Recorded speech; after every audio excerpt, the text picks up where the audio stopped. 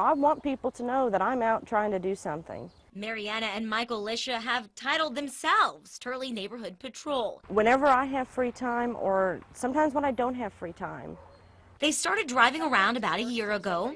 I've caught someone stealing copper before, uh, close to my residence. The Lishas live just one street away from Cherokee Elementary. And even though this site is closed, copper thieves are in session. These are the ladders that they access. About 1.30 this morning, Sergeant Clark says Joshua Fulmer and Kevin Adkins climbed a ladder onto this roof. A silent alarm prompted TPS security and the sheriff's office. So once they got on top, they saw where they were trying to dismantle some of these commercial air conditioners. The suspects unbolted two units. Clark says taking just a little copper out destroys the entire air conditioner. Each cost about $5,000. We don't have spare money to buy new units. Labasse says the vandalism only hurts TPS students and teachers, taking money out of the building and general fund. We've had them steal them on the weekends, at night, during construction projects. They're pretty brave.